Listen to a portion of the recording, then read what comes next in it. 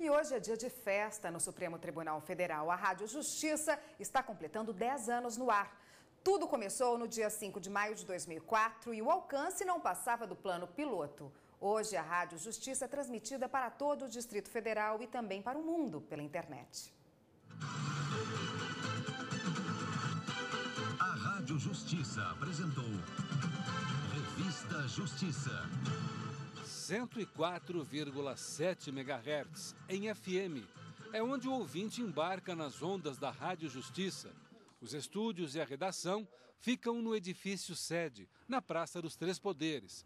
É nessa frequência modulada que ela é sintonizada no Distrito Federal. E com as novas tecnologias, a Rádio Justiça chega a todas as partes do mundo, via satélite e via internet. Jornalistas, radialistas e locutores põem no ar 37 programas, na maioria produzidos aqui, com temas jurídicos abordados com profundidade, mas com linguagem acessível ao público em geral. Você acompanha o nosso programa Revista Justiça aqui em 104,7 em Brasília, via satélite para todo o Brasil e na internet para o mundo. Há sete anos, o jornalista e advogado Pedro Beltrão comanda o programa Revista Justiça. São duas horas diárias com a participação de ministros, promotores públicos, juízes, advogados e a população. É um programa que a gente tenta trazer um pouco de tudo, né? A gente tenta trazer a parte de livros, explicar uma decisão do Supremo Tribunal Federal. Contamos com a colaboração dos ministros. Temos o ministro Marco Aurélio que participa toda segunda-feira com a gente aqui no Revista Justiça decisões que causam grande repercussão. A gente aproveita para aprofundar um assunto tão eh, de maneira técnica também, porque como eu sou advogado, então consigo explorar um pouco mais a parte técnica daqueles que participam com a gente aqui no programa e dessa forma a gente tenta fazer aquilo que a sociedade quer um pouco. Os advogados querem conhecer tecnicamente, a sociedade que quer conhecer mais sobre o judiciário, a gente trata do tema de forma aberta, com a linguagem simples. Enfim, é esse papel de aproximar o cidadão do poder judiciário. A Rádio Justiça não funciona só nas dependências do STF.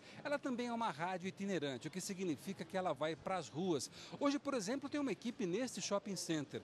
Olha só, ali é o Walter Lima com o Rodrigo, que é o repórter, e eles estão aqui com o programa Justiça na Tarde. E isto é um jeito de aproximar mais a rádio do povo, da população, que, conhecendo a Rádio Justiça, fica sabendo que tem um canal onde pode se informar melhor sobre os seus direitos. Com apoio de profissionais como o repórter Rodrigo Serpa e a produtora Ana Cláudia Possati, Walter Lima dirige e apresenta este programa desde 2006.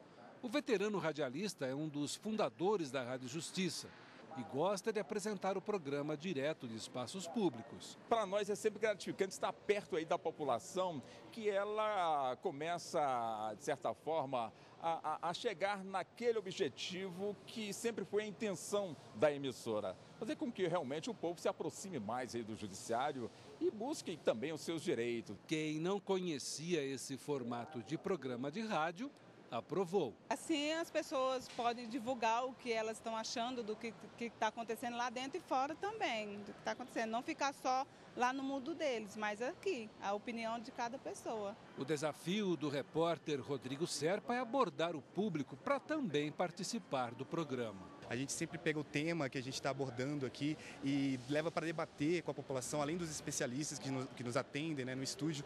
Então eu acho que é uma função do jornalismo básica, que é dar voz à população. E lá se vão 10 anos de evolução voltados à prestação de serviços do Poder Judiciário ao público. A gente tenta fazer uma prestação de serviço mais ampla. Então, a gente pega temas jurídicos, mas a partir desses ganchos que são esses temas, a gente explora quais são os direitos dos cidadãos, né?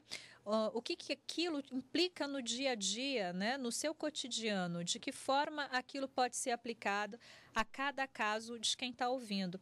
E os ouvintes podem interagir também com perguntas. Como a programação é praticamente ao vivo ao longo do dia todo, até o início da noite, então os ouvintes participam com o telefone que a produção disponibiliza, participam por e-mail e podem tirar dúvidas com especialistas, podem trazer sugestões que agregam a, grade da emissora.